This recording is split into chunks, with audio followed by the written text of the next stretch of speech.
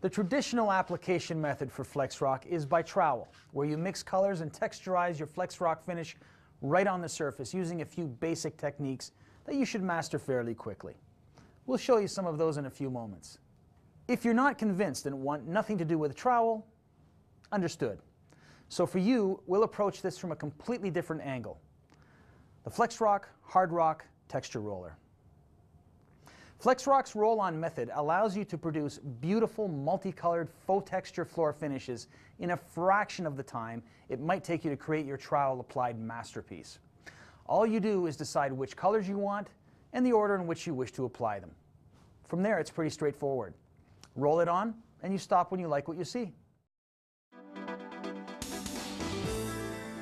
Okay, now we have product in our tray. I'm just going to uh, take some water and spray it to make it moist so that when I pick it up with the roller, it's going to spread evenly onto the surface. I'm going to load up the roller quite well, but uniformly. And I'm just going to start rolling it on my primed surface. So I'm just going to put it on in a fairly uniform way, but at the same time, I'm going to allow just a little bit of the primer to show through.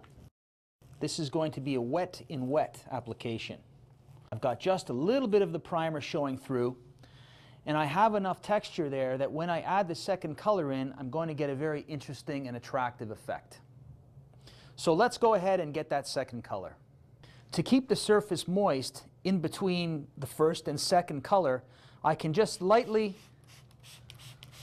mist the surface area that I'm working on so that I have a good blend of the two colors when I actually apply.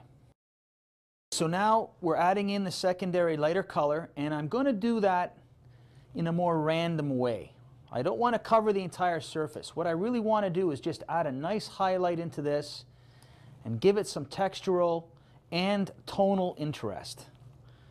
This is going to allow the surface to look like a very attractive stone surface and the roller is doing all the work. Now that I've got the product down, I'm just going to lightly roll over the whole surface to allow the roller to stipple up the material in a uniform way. Once I like what I see, I let it dry. Now let's just peel up our flagstone stencil to see the natural stone pattern we've created.